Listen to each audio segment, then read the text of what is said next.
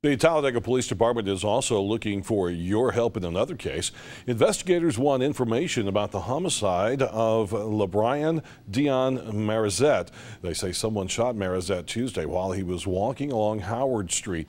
If you have any information that might be connected to this crime, you're asked to call the Talladega Police Department.